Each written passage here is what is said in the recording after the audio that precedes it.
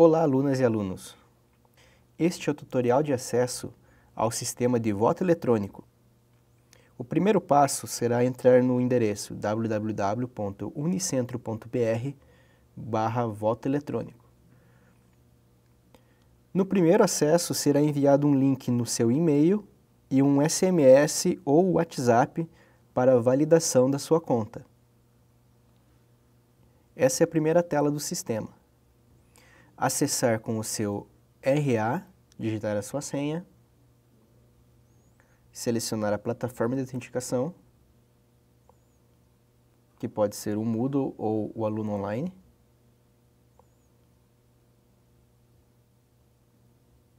Caso você não lembre sua senha, você pode recuperar através dos links recuperar senha referente a cada plataforma.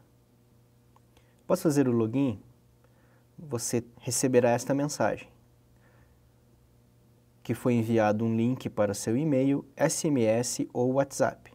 Você deverá clicar no link de verificação.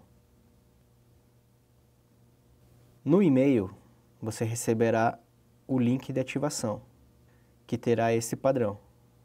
Verificação em duas etapas do sistema de votação. Basta clicar no link para confirmar a verificação ou no link que será recebido no WhatsApp. Após isso, você será redirecionado novamente à página de login, onde vai fazer o seu login novamente, e você entrará nessa tela com já a confirmação da verificação.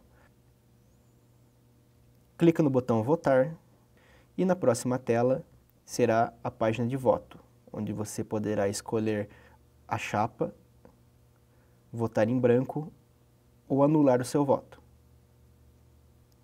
Após selecionar o seu voto, clica no botão Confirmar. Uma vez confirmado, o voto não poderá ser alterado.